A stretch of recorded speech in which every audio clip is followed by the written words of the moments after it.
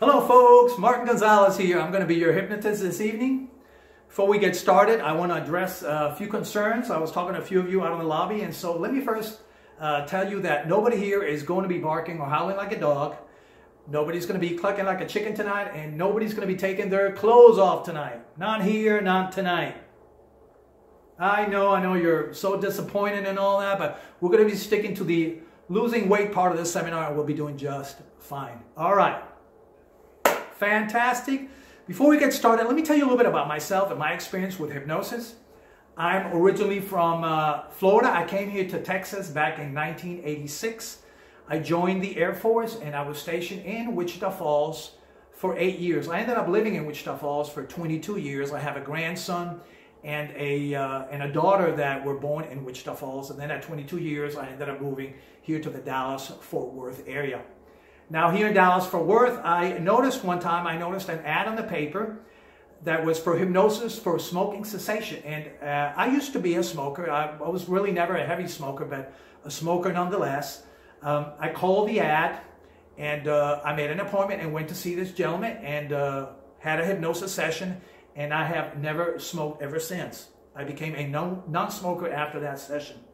And so this gentleman and I, we became really good friends. And from time to time, I would send him some referrals and they would do really well and he was doing very well. And so uh, here about 10 years ago, I decided that I wanted to be a hypnotist. And so I went to hypnosis school and then I um, started a clinical hypnosis practice in Plano where I helped uh, many people in the weight loss, smoking cessation, and some other, some other issues. And so that has brought me to where I am here today. And so let me give you a, a very simple definition of hypnosis, probably the simplest definition of hypnosis. And by the way, hypnosis, a funny thing, is probably the most misunderstood of all the healing disciplines. And I tell you, I go out and I speak on hypnosis anytime I have the opportunity, and I, and I tell you that hypnosis is a great tool. I can guarantee you that if you embrace hypnosis and you practice hypnosis, it will change your life. So hypnosis, let me give you a definition of hypnosis. Probably the simplest definition of hypnosis is hypnosis is focused concentration with the enhanced ability to respond to suggestion. Hypnosis is focused concentration with the enhanced ability to respond to suggestion. Okay? Now, let me give you some facts about hypnosis. The American Medical Association approved hypnosis as a viable tool, as a viable therapeutic tool to work on people in 1959.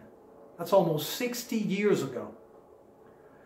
It's interesting to me that some people still today believe of hypnosis of being dark, mysterious. There's a mystery, a dark, mysterious thing about hypnosis. It comes from the devil, maybe. You know, some people believe. Let me tell you, the Vatican the Vatican approved hypnosis as a viable tool to work on people in 1958. That's almost, almost 60 years ago. There are over 100 countries that use hypnosis in a clinical setting to help people with losing weight, smoking cessation, and a variety of issues. Okay? So let me give you some examples of hypnosis that maybe you have experienced. Let me ask you this. How many of you have maybe driven your car, you get somewhere, you get to your destination, and you can't remember the trip. You can't remember certain landmarks that you went by because you were lost in thought. Right, that's happened to all of us pretty much. There's actually a term for that. It's called highway hypnosis.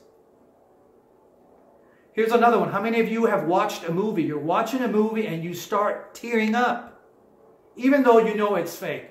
There are actors.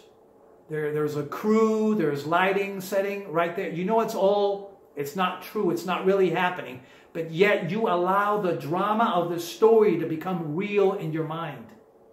And that's a hypnotic phenomenon.